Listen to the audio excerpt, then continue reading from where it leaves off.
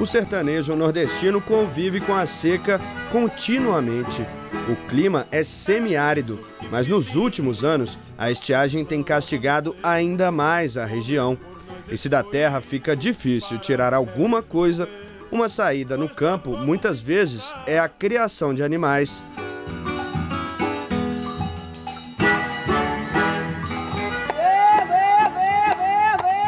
Foi essa a solução encontrada pela produtora Clemilda, do município de Monteiro, no sertão paraibano.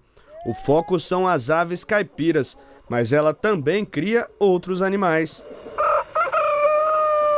Aqui na região é, semeada, quem tem a sorte de ter um poço, né, que tem uma boa vazão, que tem água de qualidade, pode fazer a produção de hortaliças. Mas em sua maioria, por exemplo, na minha comunidade mesmo, não dá, não dá poço artesiano. A comunidade, é, o subsolo não, não, não é favorável para isso. Então a gente depende realmente da criação de pequenos animais, de animais de pequeno porte. E um produto que não se desenvolve bem no clima da região é fundamental para a produção dos criadores. O milho, que é comercializado no programa de venda a balcão da Conab, a Companhia Nacional de Abastecimento a criadores e agroindústrias de pequeno porte. O milho vendido pela Conab é ofertado a preços abaixo dos praticados no varejo a pequenos produtores. Com um custo mais acessível, o grão é triturado, misturado a outros insumos e vira ração para os animais, ajudando a garantir a produção de milhares de criadores em todo o Brasil.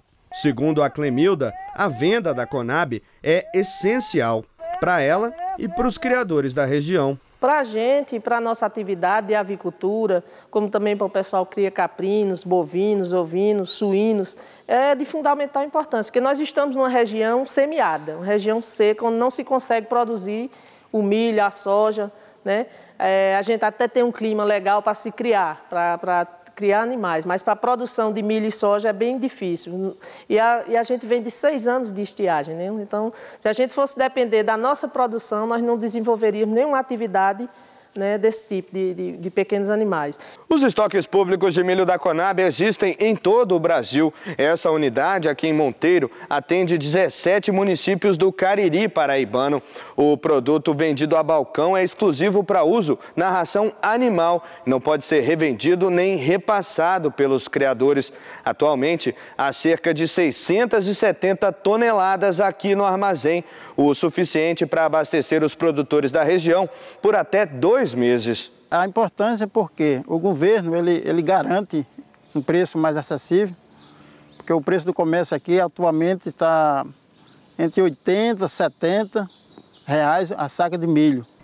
E a Conab está com preço bom, tá vendendo hoje está 48 reais a saca de milho, 60 quilos.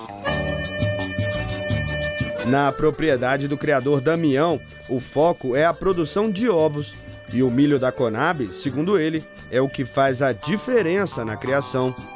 Eu escolhi a avicultura caipira, aonde iniciei a avicultura caipira de corte, com a média de três anos, eu mudei para a avicultura caipira postura, produção de ovos. Hoje, atualmente, eu estou produzindo uma média de 3.500 ovos semana, com projetos para 2018, finalzinho de 2018, com projeto para 10 mil ovos semana, certo?